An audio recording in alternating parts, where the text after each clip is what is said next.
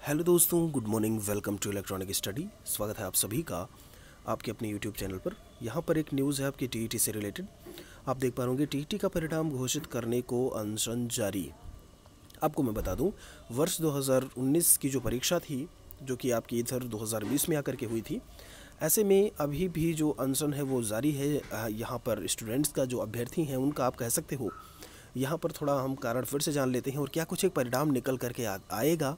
या आता है वो भी हम आपको अपने इस चैनल के माध्यम से ज़रूर बताएँगे।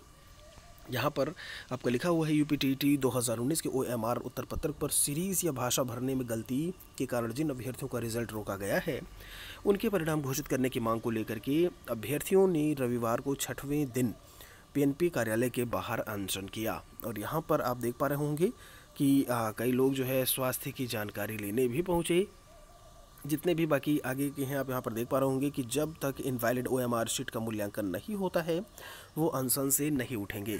तो अभी फ़िलहाल ये अनसन जारी है। देखते हैं कि क्या कुछ यहाँ से परिणाम निकल करके आ रहा है। काफ़ी कुछ हज़ारों की संख्या में बच्चे हैं जो इस इनवैलिड में अभी फ़िलहाल आ रहे हैं या इनवैलिड रिज़ल्ट उनका शो कर रहा है।